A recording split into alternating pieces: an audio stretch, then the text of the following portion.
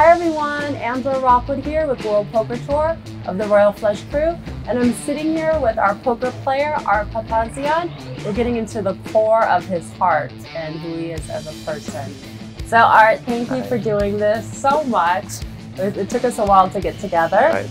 and I want to start off by asking, where are you from? I'm from LA. Uh, Seriously? I'm from LA, yeah. Straight up? Straight up from LA, yeah. Wow, Yeah. you were born in LA. Uh, raised in LA. I was born in Armenia. Okay, Raised in LA though. so you're a transplant then. yeah. Okay.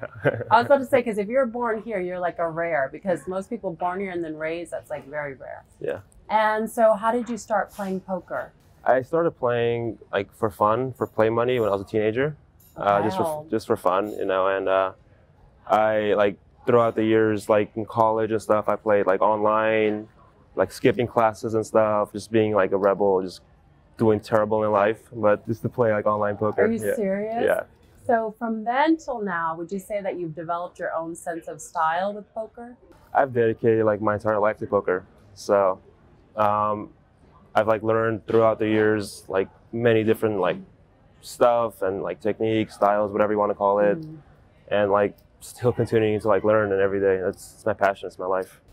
So you won Legends of Poker. Yeah. And I was there. You were. I actually was Yeah. like, he's gonna win. I'm not supposed to say that part, but I was like, he's gonna win, and you actually won. I was like, yes. So from then up until now, what extraordinary thing has happened to you? I thought like a lot would happen to me. You know, like Mhm.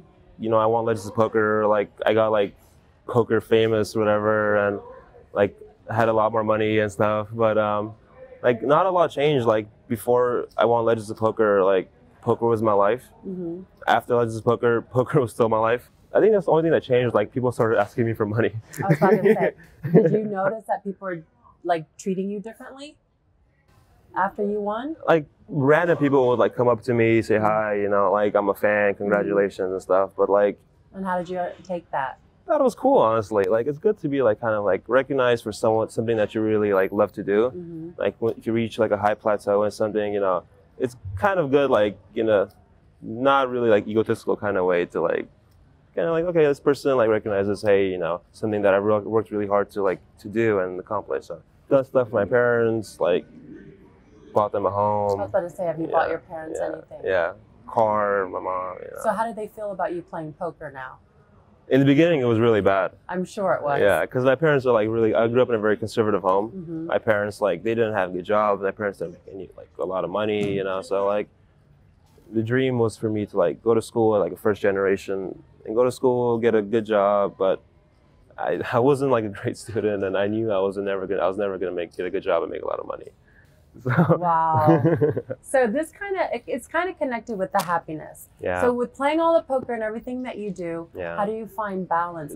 I try to take the dog to the park every single day. hmm and then like go to the gym. And then later at night, I like to like call my friends. hmm Hey, you know, come over, let's hang out, watch some TV, or like go to a bar. hmm Like this is pretty much like the only way that I can like keep sane. You know, like my friends, like I've known them for like my entire life. I don't have like new friends. You know, just people that like that knew me like when I had nothing, hmm and like they're like they're they're still there now. You know, and like they don't know me as like art. They know me as Yeah, Arthur. You know, Exactly. like That's beautiful. yeah. So, what is your New Year's resolution or anything that is on your bucket list Yeah. that you want to accomplish before 2020? I want to go. I want to travel. I want to go. I want to go to Europe. I want to go to Armenia. I haven't been to Armenia since like You have to do that. I haven't been to Armenia since I was born. Oh my gosh. Three. I, I came here when I was three. So, and what are the goals if you go to Armenia? What's going to happen? Meet my family. I have four aunts there. Four. so, you're going to do that by the end of this year. I want to. Yeah. And last but not least, is there anything that you could say to a poker player out there? Advice from all the years that you've played. Um, like if you really want to succeed in this game, you have to like dedicate your life to it. Honestly, like it's not. It's not like it's not easy.